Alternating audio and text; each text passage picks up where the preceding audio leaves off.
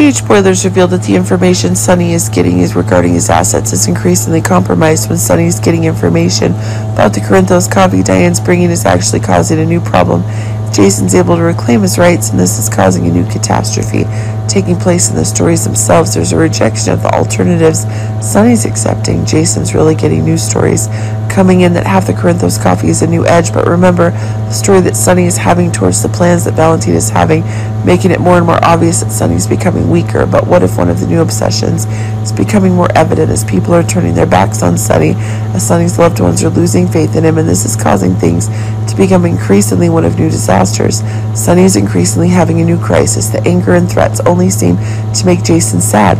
Jason's realizing that Sonny himself has transformed and the crazy events that Sonny is causing, things are getting more and more out of control.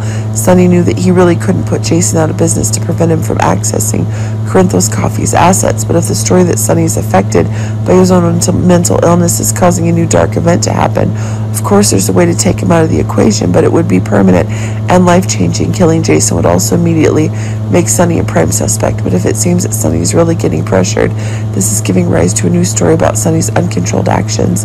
It's really turning into a disaster. Look for Jason and Sonny to continue arguing as they disagree about Jason's involvement in the legal side of Sonny's business. But now that Carly and Jason are learning the transformation Sonny is having, seems that the stories attempt to find out what's really going on with Sonny and how he can turn his back on. Carly have suspicions about Ava, but worries that they find the evidence is still extremely difficult. It'll be fast and a fierce raid to find out the truth that Sonny's every action is aimed at blowing up his life. Sonny's in need of control again, and these actions are making more of these crazy new stories. Even though Carly's not happy with Sonny right now, she doesn't want any harm to happen to the father of her children.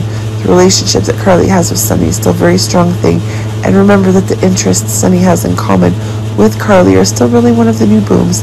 Likewise, Jason still considers Sonny his best friend and business partner. But just as Ava's revealing her dangerous story, an explosive attack is underway, and it seems that a release is being confirmed for Sonny.